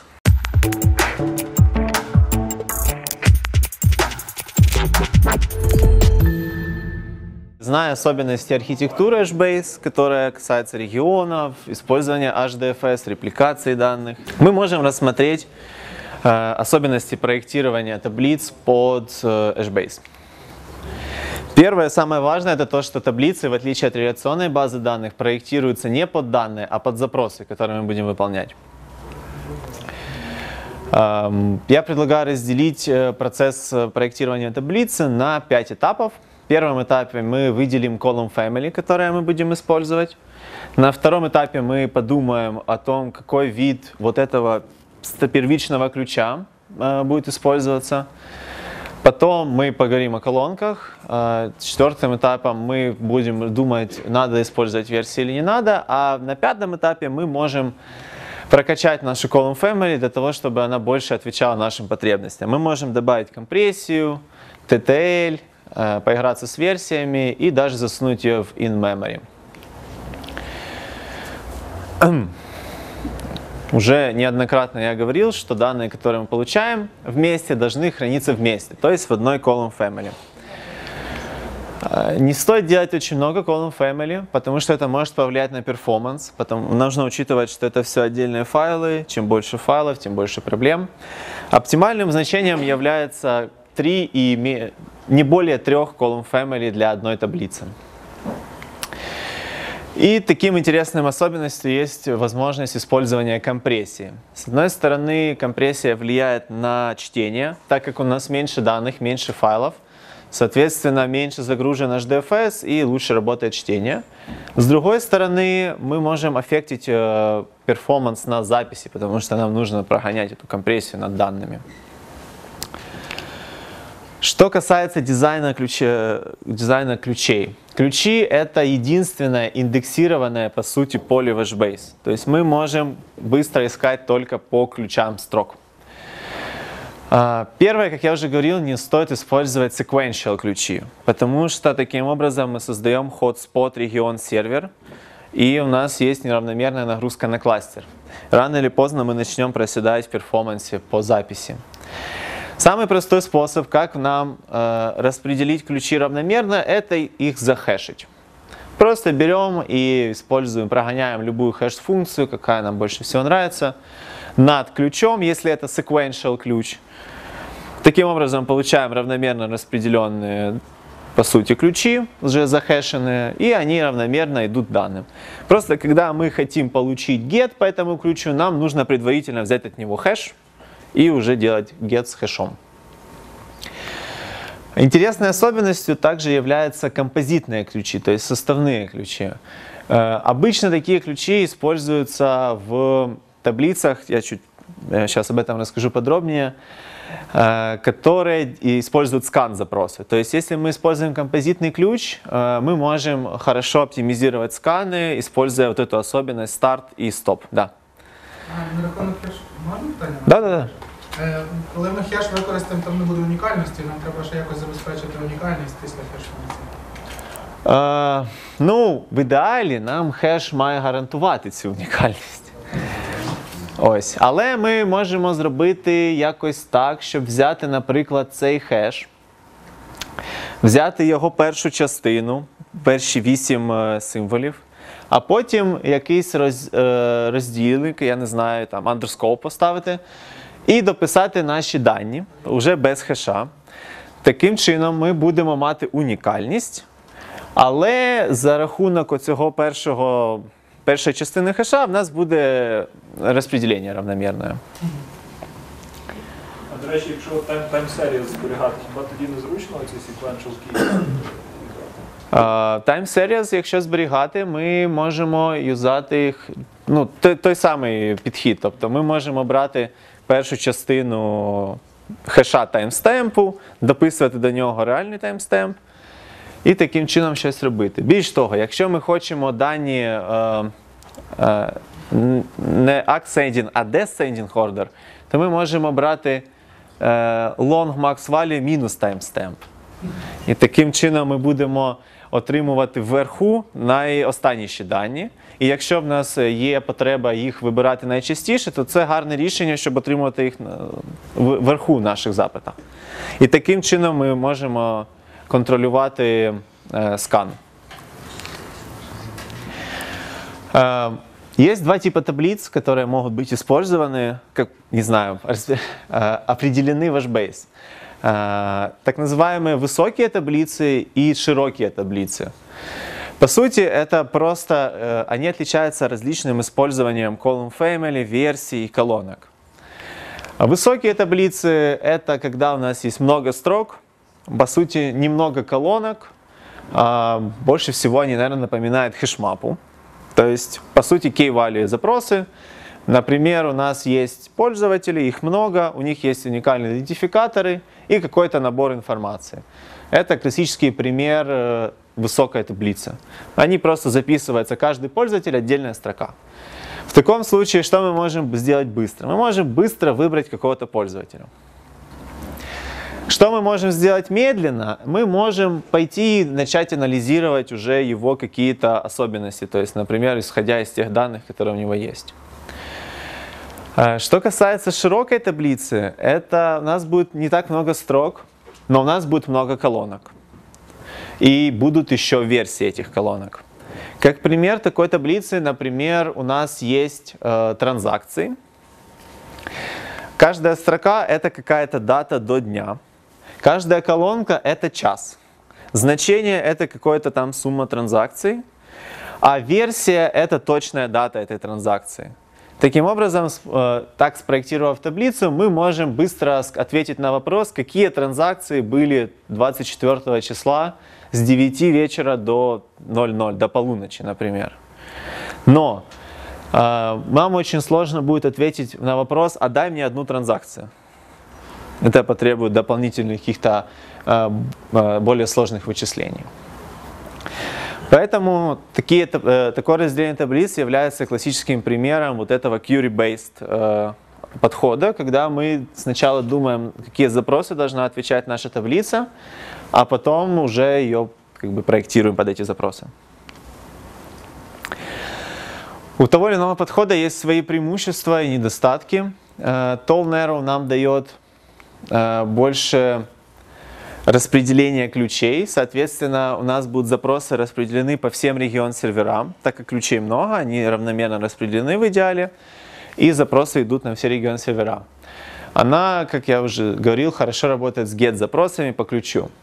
А, Flat White дает нам, во-первых, э, хорошо это атомарность на целой строке, то есть когда мы апдейтим строку, мы можем быть уверены в ее атомарности этой операции. Она хорошо работает, когда нам нужно делать много именно апдейтов. И, в принципе, как scan, так и get она может обслуживать в зависимости от тех данных, которые там хранятся. То есть get мы можем получить сразу большой кусок данных, либо его как-то ограничивать. Scan мы можем использовать э, фишки э, составных ключей, когда мы можем ограничивать э, тот э, объем данных, на котором мы прогоняем наш скан. Ну, лично я из собственного опыта могу сказать, что я больше использую tall narrow таблицы, потому что в основном это такие данные, которые получаются по ключу. Это идентифи- идентификаторы пользователей, идентификаторы событий и тому подобные вещи. Что касается э, column family properties. Э, Во-первых, компрессия.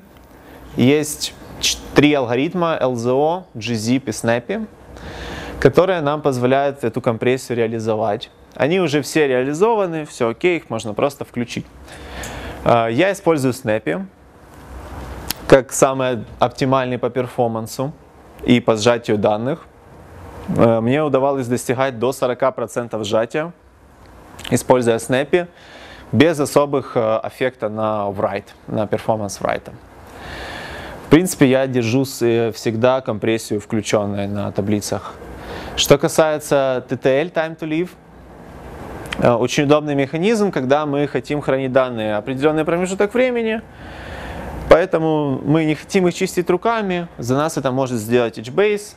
Time to Live вешается на column family, соответственно, когда пройдет тот заданный промежуток данных, который задается в секундах для Time to Live, Данные просто пометятся томпстоуном и будут удалены при следующей major compaction.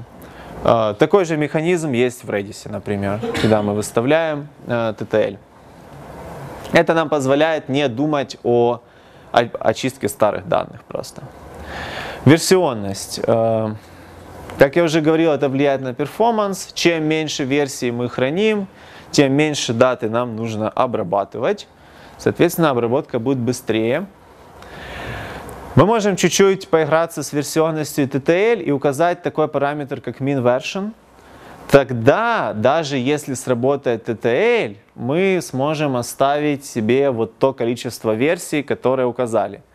То есть, если мы укажем min version больше нуля, э, то TTL, по сути, удалит то количество версий, равное versions минус min, min versions. Вот так. Если у нас по умолчанию одна версия, и мы указываем min version тоже один, то TTL просто не сработает. Які саме версії видадуть? Что? Які саме версії видадуть? Старіші? Э, да, конечно, то есть сюда удаляется места. Э, in memory. Э, in memory дает как бы совет HBase, что вот эту таблицу, да, эти данные неплохо держать в памяти, потому что как у любой, э, я не знаю, серьезной базы данных, у, у HBase есть кэш запросов, куда попадают часто используемые данные. Но это не гарантируется. Ее хорошо использовать для небольших э, high access column family или таблиц. Ну, то есть, э, по сути, это может быть какая-то словарик или более-менее статическая дата, которая небольшая по объему, и мы просто хотим ее получать очень быстро. И последнее это API. Как я уже говорил, с HBase версии 1.0 есть, был, был представлен новый, более удобный API. Есть два типа базовых интерфейсов, Table интерфейс и Admin интерфейс. Через Table интерфейс делаются операции типа put, get, scan, increment и delete. Через Admin интерфейс делаются операции DDL. Create table, alter table, enable, disable. Собственно, вот тот слайд, который я хотел, э, который меня спрашивали, как коннектится клиент. Клиенту мы указываем всего лишь э, один параметр для коннекта. Это Zookeeper Quorum. Что происходит? Клиент идет к Zookeeper. Zookeeper ему говорит, где, на каком регион сервере лежит метатаблица. Клиент идет к этому регион серверу, забирает себе метатаблицу. Забрал, закэшировал. Дальше у клиента есть все возможности, чтобы отправлять данные напрямую к регион-серверу. Как вы видите, в этой схеме мастер не участвует. Давайте посмотрим теперь на, собственно, исходный код примеров.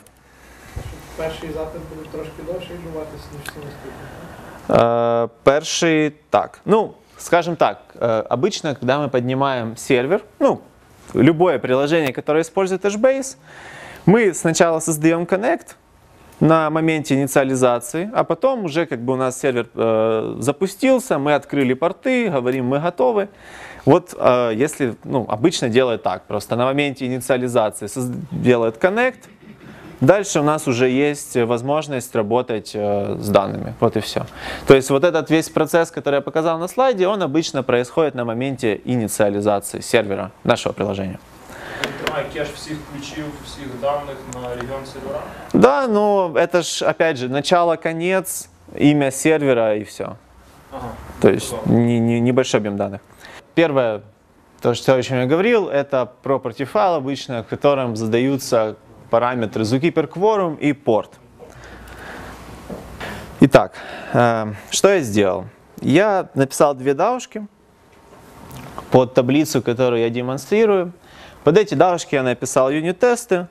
В принципе, я старался продемонстрировать в этих даушках всю, все те базовые Java API э, операции, которые делаются. Начнем мы, наверное, с User Contact DAO. Сейчас я войду опять в Presentation Mode.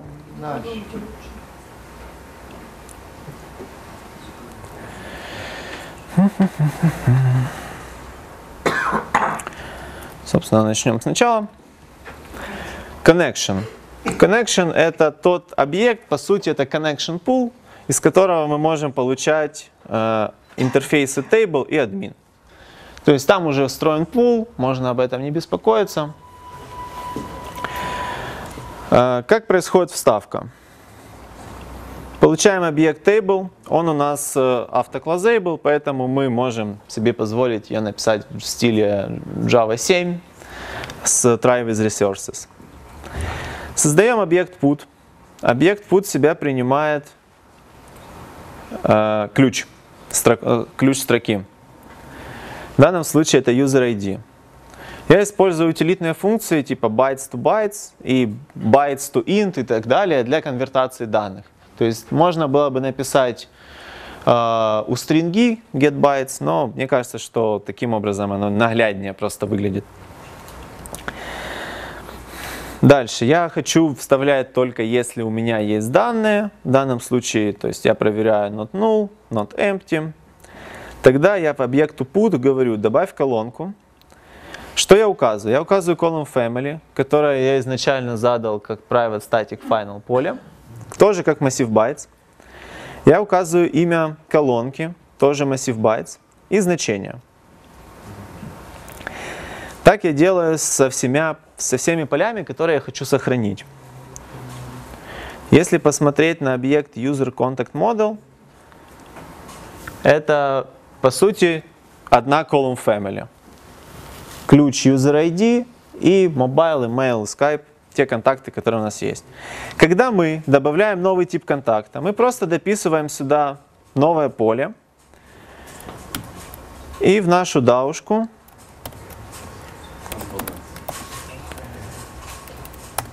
можем дописать еще одну строку для записи. В самой HBase в структуре таблицы мы ничего не меняем. В конце мы вызываем команду tablePut, передаем ей объект, новосозданный put, и на этом все. Get. Для get нам нужен ключ. Мы снова получили интерфейс table, создали команду get, передав ей ключ.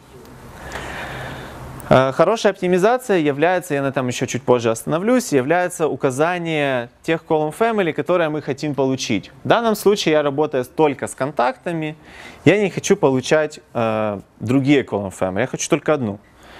Поэтому я явно указываю. Это позволяет увеличить перформанс, улучшить перформанс. Дальше я говорю table get, передаю сформированный объект get. Получаю result. Из этого результата я могу получить необходимые мне данные. Получаю мапу byte-byte. И уже могу из нее по имени колонки выбрать необходимые данные. Дальше, используя вспомогательный класс bytes, я конвертирую э, массивы байт в строки, ну, в любой тип данных, который мне нужен. Масив можна? А, массив чого? Строк. А, массив строк. Можна, все, що Да. Але, мабуть, його, якщо я б зберігав, е, то я б його якось розділяв би своїми якимись, е, як це правильно сказати, розділі сепараторами, да, сепараторами. Там формату ніякого нема, тупо пальцем. Да, да. Там все, в любом случае будет храниться массив байт. Ты можешь даже круче сделать. Ты можешь сериализировать его через Java и засунуть туда. Ты можешь даже засунуть туда джавовский этот байт, ну, сериализация. Можно JSON засунуть. Можно Avro засунуть. Тут, в принципе, удобно с этой точки зрения. Delayed. Delayed в данном случае я удаляю всю э, строку, поэтому я указываю ключ и column family. Таким образом, я для этого ключа удалю эту column family. Count. Эм, если в консоли есть операция count как команда, то для API ее нет. Поэтому count это получение сканера, через скан идет. Мы просто идем по всем строкам и считаем, сколько этих строк у нас. Ну, что делать? Эм, ну, на самом деле, если мы очень часто хотим получать count, то нам проще сделать э, отдельный счетчик в HBase и его инкрементить на каждый путь. И написать для этого копроцессор, чтобы было вообще круто. Да. А Можно вопрос? Есть какая-то библиотека, чтобы как-то абстрагироваться от байта, байт array, там, эти все конверсии, или, или это всегда кастом? А, Я не знаю, что может быть вообще лучше, чем байт array. А, Есть э, спринговая эм, обертка над этим всем делом, которая через вот эту, знаете, модную спринговскую штуку, там где куча точечек, когда такая, ну, лапша из, мет- из вызова методов получается. Вот там есть, ну, как бы обертка. Вот. Е, Наверное, это единственная, которая есть, ну, такая, как бы, яка може трошки покращує. Но я фанат масива байт. Ви писали там на проектах про інсайди, то лоу-левельні такі операції. Отакі. Це ну, практично е, це DAO, воно демонструє просто, як сказати, я його писав. е, Так само, як я пишу реальний production DAO, просто що я хотів тут показати всі операції, такі ну, найпоширеніші, які просто треба можна робити. Але я не використовую ніякі надбудови. Тобто, це, я не знаю, я вважаю, що це зайве. Можна ще питання? Да. Е, Є можливість ранити якісь вери? Хто? Ну, якийсь SQL, який би е, робив би селекти, а конвершн не по primary ключу, а по інших колонках. А, да, да, я, я сейчас покажу вторую, да, там я ну, сделал такой пример. А, Что касается каунта, это пример скан запроса. Э, Здесь я просто использую упрощенный, э, упрощенный скан запрос. Я просто говорю get scanner и передаю column family, которая меня интересует. В итоге я получаю объект result scanner, который надо не забыть закрыть. Поэтому здесь тоже try with resources есть. Объект сканер подобен э, объекту result set, э, когда мы работаем с GDBC. Поэтому вызывая метод next, я получаю следующую строку, то есть result. И я это делаю до тех пор, пока мне, ну, пока они не закончатся, пока мне не вернут null. Да. Тут нет. Сейчас расскажу почему. Или чуть позже, могу сказать. Давайте сейчас. А, По сути, по умолчанию, объект сканер каждый раз лазит э, на регион сервер, когда мы вызываем метод next, и говорит, регион сервер, дай мне следующее, дай мне следующее, дай мне следующее. Мы можем э, поставить кэш, я покажу, как это делается. Тогда он будет лазить и говорить, дай мне тысячу, дай мне еще одну тысячу и так далее. Но если мы ставим кэш, мы как бы берем ответственность на себя, а здесь просто будет каждый раз лазить.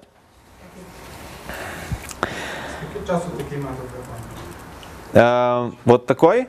Я скажу, что если ничего не делать, вот просто взять, тупо написать в консоли count и в таблице, в- если в таблице есть 50 миллионов записей, count отрабатывает минут 10. Если дописать параметр кэш, поставить его во вменяемое значение, типа 100, 1000, вот где-то в тех пределах. Больше 1000 я не видел, чтобы дел, ну, влияло на перформанс. Но со значением 1000 50 миллионов записей было посчитано минуты за две. Вот так. Что?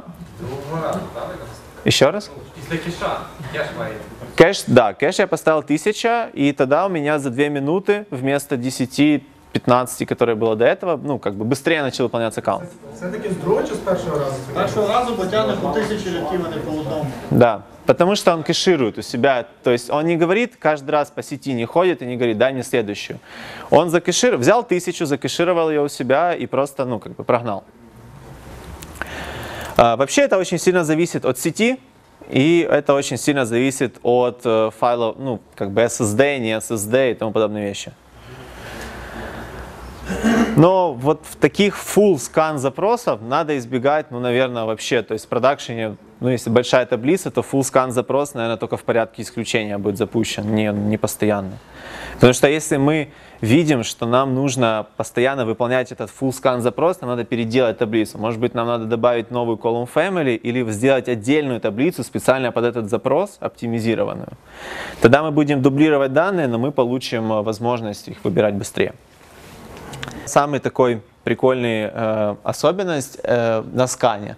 Мы можем создавать фильтры. Более того, мы можем объединять эти фильтры в цепочку. А что еще круче, что эти фильтры будут э, выполнены уже на стороне регион сервера, а не на стороне клиента.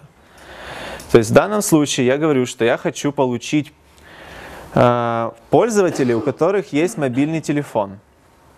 Для этого я создаю несколько фильтров. Первый фильтр – это фильтр по колонке. То есть я говорю примерно следующее. Дай мне, пожалуйста, всех пользователей, у которых вообще есть колонка Mobile. Следующий фильтр. Я, я хочу отфильтровать, ну, вдруг там, не знаю, пустая строка где-то встретилась. Я создаю фильтр Value, который, в принципе, суть его такая, что дай мне, пожалуйста, всех, у кого value не пустое, not equal и пустота. Дальше мне нужно эти два фильтра объединить, потому что, по сути, если я вызову первый фильтр, мне вернет всех пользователей, у которых есть колонка Mobile, а если я вызову только второй фильтр, мне вернет все данные, неважно, mobile или не mobile, где нет пустоты, нет пустой строки. Поэтому я создаю фильтр лист. Э, И говорю ему поведение must pass all. Это аналог логического и. Есть еще или, то есть must pass one. В зависимости от этого будут выполняться те или иные фильтры. И передаю ему те фильтры, которые я создал. За счет того, что я сказал must past all, эти два фильтра работают в паре. Соответственно, мне вернет пользователи, у которых есть колонка mobile, и при этом она не пустая. Такий не найкращий API, я би сказав. Ну, сорі, Валя, ну реально. Не, ну не, не я, не я створював. Java. Така солідна Java, реально. Ем, давайте поглянемо, щоб я не. А це, це ж не єдиний клієнт, чи це найбільш вживаний? Чи там тільки байт, там нічого. Тобто е, у нас є е, no op, це завжди false. Це я одразу скажу. Greater, greater or equal, less, less or equal і not equal. А чисто по перформансу воно що, виходить, виходить, якщо ти там не задаш нормальний range, воно візьме там full scan просто всередині. Да, да.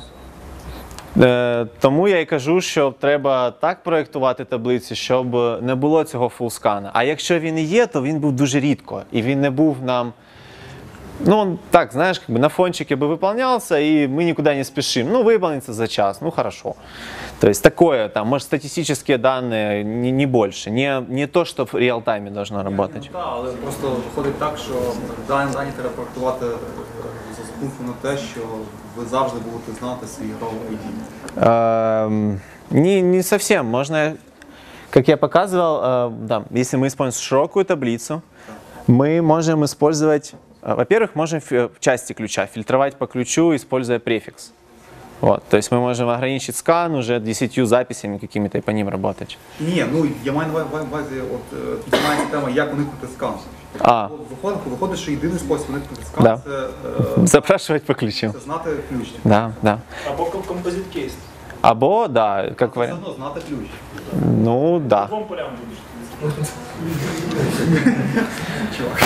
А є питання? Да. Якщо, наприклад, я юзаю Hive, Да. е, і, або, ну, там, незалежно що, тобто насправді, коли я пишу select, він транспортується в цей ж самий код і так само. Да. А, насколько я знаю, что Hive, что Impala, они просто такие как бы красивые обертки, но тут ничего нового не придумаешь в любом случае. те саме воно робить. просто. Да, да, да. Просто это красивый SQL, его транслируют в некрасивый API и потом возвращают. Ну, то есть HBase, по сути, это такая штука, которая узкоспециализированная под какой-то определенный кейс, ну, у вас там в системе. Если нам надо выполнять 100-500 разных операций, там, то, ну, наверное, это не подойдет. Потому что если нам нужно всякую агрегацию и тому подобное, имеет смысл поставить в сторону Impala и HDFS. Она будет быстрее и нормальнее работать, чем это. Но если нам нужно обслуживать, я не знаю, 10 миллионов сообщений в день от пользователей, то мы можем там создать несколько таблиц и быстро за счет этих таблиц э, показывать пользователю его сообщения, дать ему возможность переходить по ним и тому подобные вещи. Вот. Ну, ну окей, от який сценарій, наприклад, каунтер. Э, Просто делаешь отдельную таблицу и туда инкрементом бабахаешь. Или даже отдельное поле. Тебе ничего не мешает сделать строку обоз- в таблице, обозвать ее каунтер. И когда ты каждый раз что вставляешь, дополнительно делать в нее инкремент. Ні, ну але ж інкремент відбудеться на клієнті, правильно? Ні, ні, ні.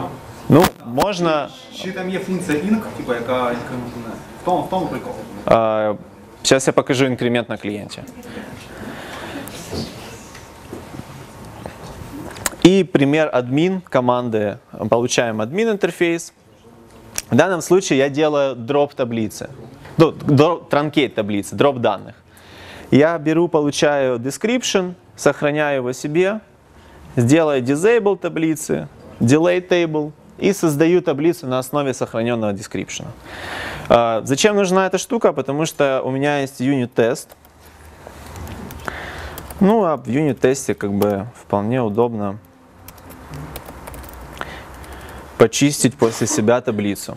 А, Чем, не знаю, для чего я писал этот юнит-тест? Для того, чтобы показать, как создавать connection в основном. Ну и показать, что код работоспособен.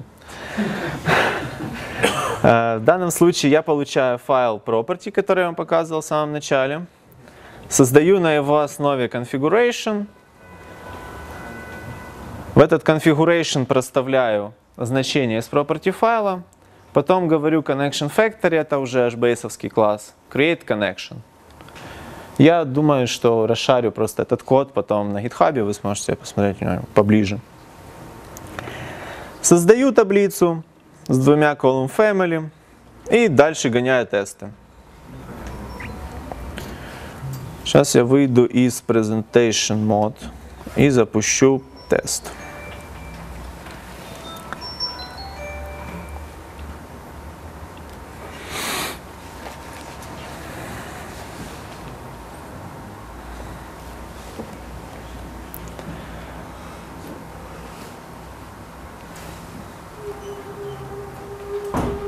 Собственно, все работает.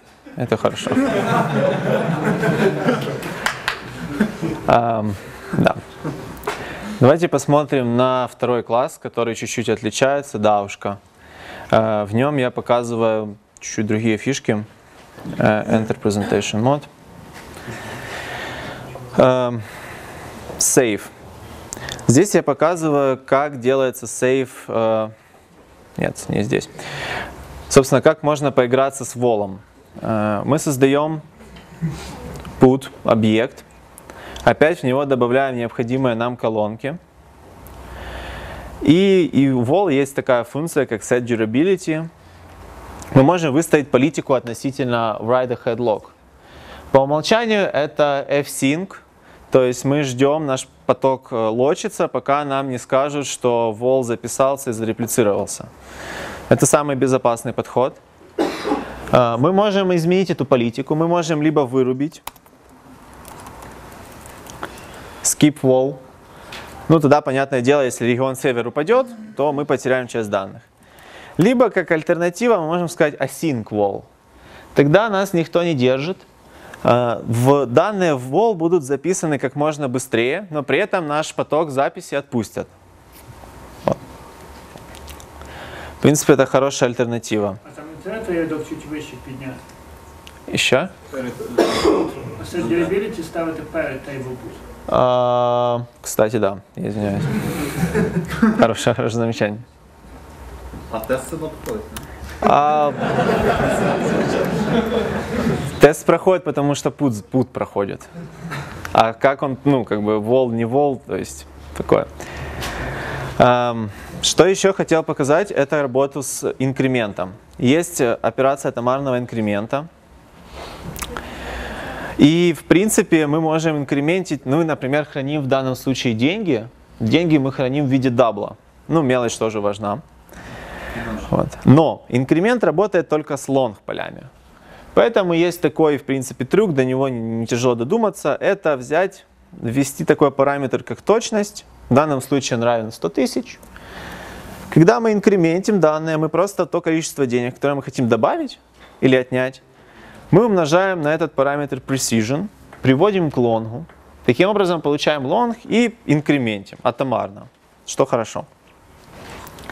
Дальше, когда мы хотим считать эти данные, мы просто получаем этот long, делим на наш параметр precision и получаем данные с необходимой нам точностью. Такого ніколи не робив продакшн. Зависит от того, что, ну, какая точность нужна и что, с чем мы работаем. То есть это все очень, э, как, как сказать, довольно условно. То есть если ну, можно точность до 100 тысяч, ну, то есть 5 знаков после запятой, то почему бы и нет? Э, там, где я использовал эту штуку, там была удовлетворительная точность до трех знаков после запятой. И на бэкэнде робится информация. Э, этот, да, этот атомарный инкремент, это такая же RPC call к регион серверу, просто, ну, по сути, это атомарный такой, ну, как замена пута. То есть более удобная замена пута, чтобы просто проапдейтить счетчик. А які ще є варіанти зміни значень колоночок? Put, перезаписать. І check and put. Тобто, коли говорилося про одну з переваг широких таблиць, про можливість масивного масивних змін, тобто це означало просто переписування кол- е, А. або дописування його так. А, Да, то есть имеется в виду, что мы, если мы хотим менять одну колонку, но, но она хранит одну строку, в которой много данных, то мы будем эти изменения в рамках этой строки делать атомарно. Вот это основное преимущество. То есть если мы, например, храним транзак... день транзакции и что-то туда вставляем или меняем, то у нас атомарность на уровне всего дня ну, как бы сохраняется.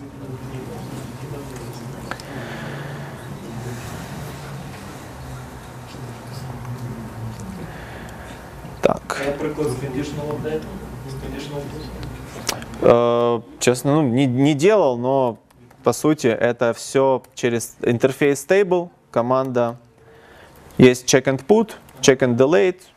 Там Э, да, сейчас. Э, compare operation это наш select и put operation это то, что надо сделать.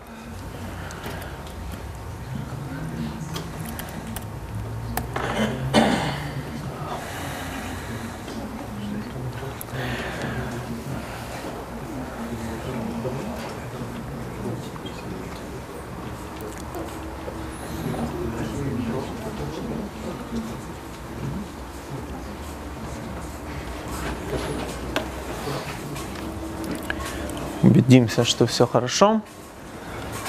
И я вам не вру.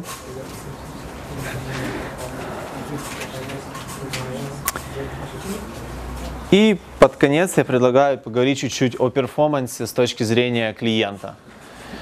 А, Первое и основное это то, что нам нужно определять как можно больше составных частей тех, того ключа данных, которые мы хотим получить. Грубо говоря, когда мы э, определяем column family, мы уменьшаем количество дисковых операций. Так как отдельная column family это отдельные файлы, они будут считаны. Если нам нужна одна column family, то лучше ее указать, чем считывать все три column family, сколько их у нас там есть. Когда мы указываем колонку и версию, мы уменьшаем нагрузку на сеть, поскольку меньше данных гоняется по сети от регион сервера до клиента. Если мы используем сканы, то нам нужно указывать start и end row. Ну, таким образом мы уменьшаем количество тех данных, которые про- процессятся, и даем возможность клиенту идти на конкретный region server, а не на все подряд. При использовании скан удобно э, включать caching. Caching нам позволяет не ходить за каждой записью отдельно, а брать их пачками. Что касается перформанса на записи. Э, Первое и самое важное это батчи. Мы можем объединить путы в батчи. То есть, если посмотреть на API, есть э, два типа команды put, метода put. Один принимает в себя лист путов, второй э, просто один объект put. Когда мы объединяем в батчи, мы уменьшаем количество RPC с вызовов, соответственно, уменьшаем нагрузку на сеть. А, Можно использовать write буфер. Чем хорош write буфер? Тем, что, например, нам очень лень переписывать все на батче. Мы просто включаем этот write буфер. Ну, переписывать все-таки чуть-чуть да придется, но меньше. А, Тогда клиент начнет собирать у себя а, в этом буфере команды и отправлять их после, когда буфер заполнится, команды будут отправлены на регион сервер. Но понятное дело, что когда, если клиент вдруг внезапно умрет, то команды, то есть данные мы потеряем. И последнее, с чем можно поиграться, это wall, write ahead log. То есть, э, управляя им, мы можем говорить, э, управлять по сути процессом записи. Если мы его игнорируем, write ahead log, у нас запись проходит быстро, потому что мы просто пишем в mem store, в память и все. Если мы говорим, что нам нужен синхронный write ahead log, у нас безопасность, но при этом мы э, можем проиграть в перформансе. А синхронный write ahead log был презентован не так давно в HBase 0.98 и в принципе является хорошим балансом между э, reliability и перформансом. И последние несколько слов. Я надеюсь, что в процессе доклада я заинтересовал многих из вас для использования HBase, или, по крайней мере, чтобы его попробовать. Э, Процесс настройки и установки HBase, он, в принципе, не тривиален. Э, э, Одним YAM install там не обойтись. Вот. Поэтому удобно использовать уже готовые настроенные Virtual Machines, которые дают Cloudera и MapR. Это, по сути, образ. Вы его разворачиваете у себя на ноуте под э, Virtual VM и под что-то еще там есть. Вот, у вас полностью настроенный environment, и вы можете уже пробовать на нем выполнять запросы, играться с данными и, собственно, смотреть. На этом у меня все.